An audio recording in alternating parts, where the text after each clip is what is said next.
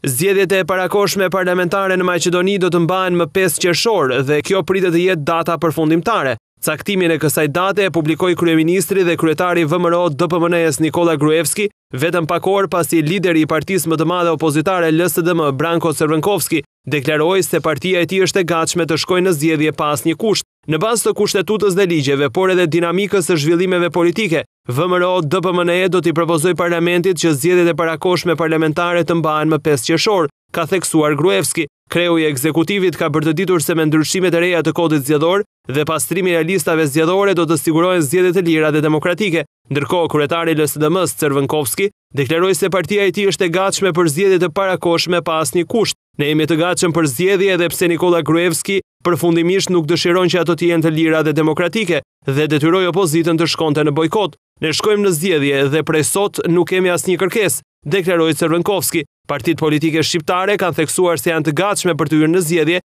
pavarësisht datës së mbajtjes së tyre.